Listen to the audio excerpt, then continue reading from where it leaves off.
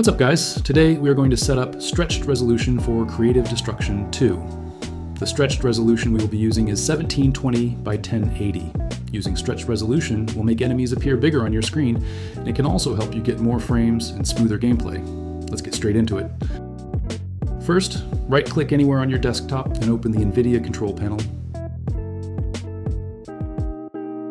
When it opens, make sure you are set to full screen and that GPU scaling is enabled after that, click Apply.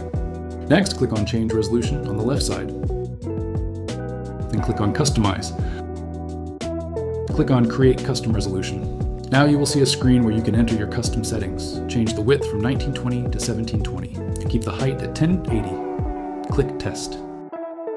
Your screen will turn black for a second. When the prompt appears, click Yes. After that, click OK. Scroll up through the available resolutions. Find 1720 by 1080, select it, and click Apply.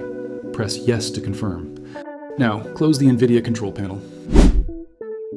Next, open Creative Destruction 2. Once you are in the game, simply press Escape, and it will take you straight to the settings. Find Screen Mode and change it to Windowed Full Screen. And that's it.